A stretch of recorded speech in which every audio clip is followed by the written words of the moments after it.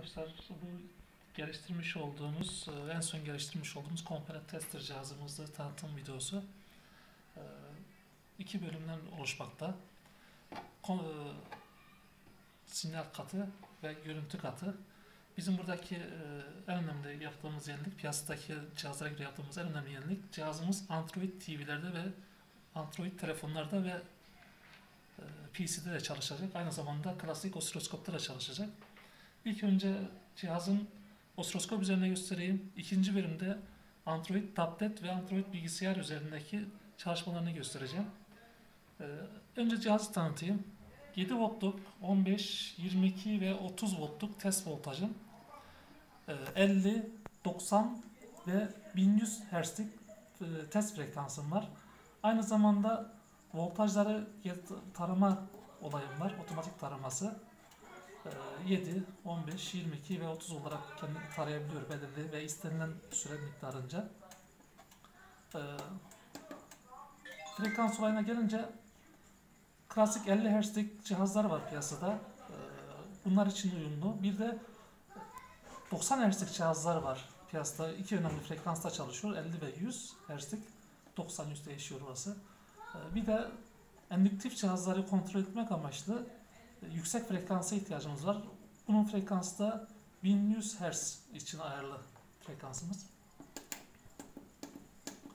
Yine aynı şekilde gördüğünüz gibi tek tek kontrol 7, 15, 22, 30 volt kontrolü. Ee, bir de akımlarımız var burada. 7 voltta 100 mAh test akımımız var. 100 mAh için gerekli? 100 mAh kondansatörlerin grafiğinin net olarak görülmesi için. Kondansatörler çünkü akım çekerler.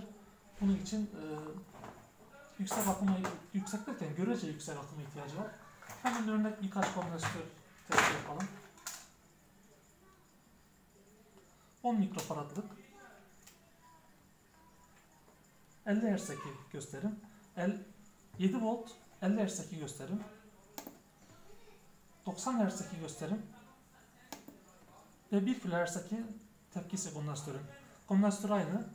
10 mikrofarad. Tekrar yapalım. 50 100 ve 1 kHz'lik 7.5 voltluk, e, 15 voltluk 50 Hz'de 15 volt 100 Hz'de 15 volt 1 kHz'de 15 volt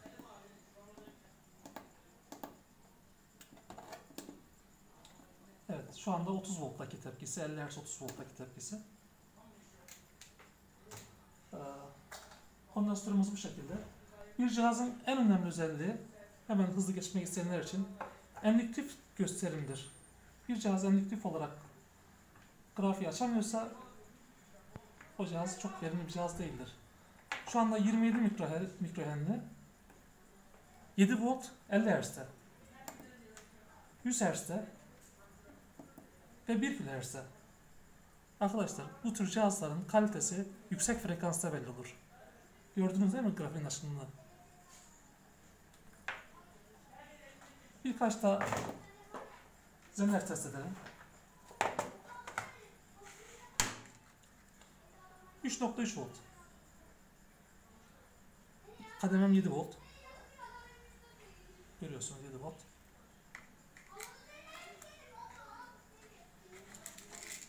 7 volt. 9 voltluk bizden ertesi edelim.